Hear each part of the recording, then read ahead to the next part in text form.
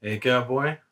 Welcome to a Thursday Collection Connection, a game that's many things to many people, but for our purposes, it's just an excuse to talk about records. Uh, if you want to know the rules, uh, read the description.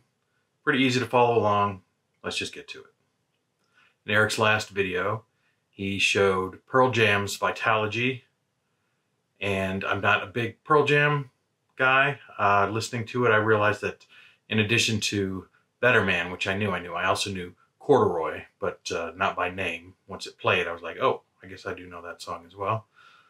Um, I was surprised. I had assumed that it was a double album, uh, and it was not quite long. It was long enough to be a, a double album on vinyl, but I'm surprised they crammed the 55 minutes onto a single disc uh, a little bit, and it does feel like some of the more uh, indulgent experimental stuff maybe could have been left off. But uh, a lot of the songs are pretty good. I enjoyed Whipping. Uh, I enjoyed uh, Tremor Christ. Felt like a Soundgarden song a little bit. It was pretty good. Not a, not a tough listen. Uh, I had an okay time with it. And so for my connection, I noticed that uh, two of the songs, Better Man and Nothing Man, and in the word man. And uh, maybe picked up what I did with the uh, the title of the video there. Nothing, nothing man, better man. Get it?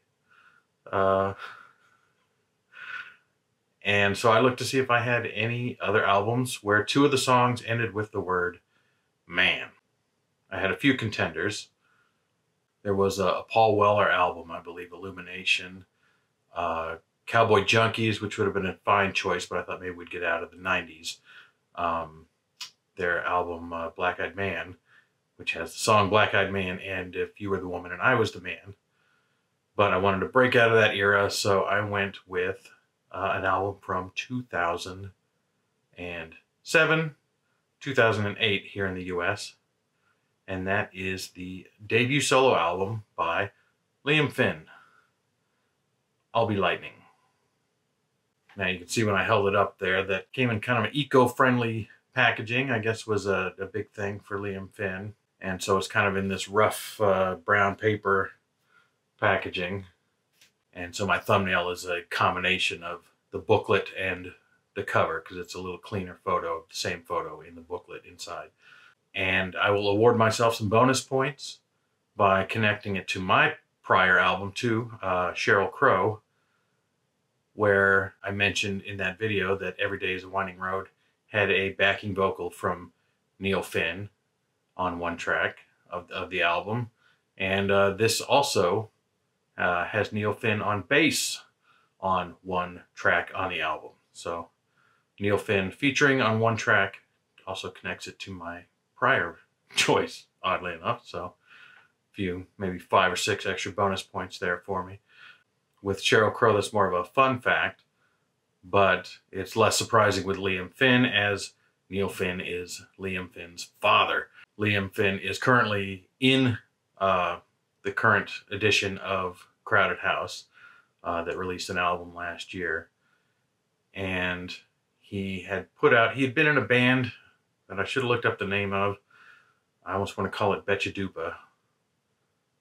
And if you see this in the video, that means I was right he put out some solo material. Uh, he's done three albums and I think a little here and there uh, besides. This was his first album. I like it a lot. Uh, the, the timbre of his voice is exactly like his father's. Uh, if you close your eyes, it sounds like Neil Finn singing. He was doing uh, very much a one-man show uh, at this time. He plays most of the instruments on the album uh, save for that bass uh, on one track and drums on a half dozen, not even half dozen, maybe four of the songs, four of the 14 songs. And uh, one other credit, but everything else was all him. And when he performed it on stage, we actually saw him at a show for this album. Uh, he would do it by himself and just do use a looping machine and create loops. Uh, he had a theremin up on stage, and, um, and he would just record loops and was very adept with the looping machine and would dive in and out whenever he wanted to play live drums. He would sit down at the set and turn off the loop or add a solo or anything you wanted to do. Uh, pretty entertaining stuff, but it has very much that sort of uh, home studio lo-fi sound to it. Uh, but it's good stuff. Uh, Second Chance, I think, is the song that really stands out to me. I think it was actually uh, a single. And Gather to the Chapel is a lovely song that uh, was often mistaken. he said uh, in the show, you know, he people would contact him saying, "Oh yes, we played this for our wedding, Gather to the Chapel," but uh, of course it is a song about a funeral and not a wedding, and everybody going to the chapel to uh, bury somebody. But uh, overall, yeah, it's a, just a really, it's a good album. I bought his next one. I didn't like it as much, and uh, just because you never hear his music anywhere, really. Uh, I think he put out one uh, one other album, and I never followed up on it just because I haven't. Um, but as I say, he's now in Crowded House, at least for the time being.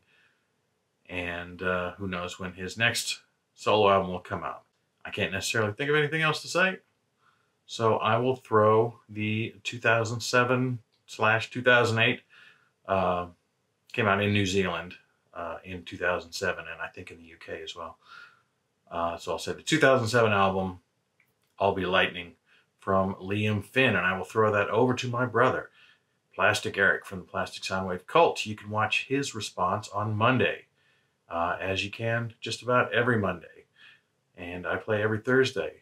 So uh, if you're seeing this and just talking about records has some appeal to you, maybe give us, uh, throw us a subscription. I won't ask you to smash anything.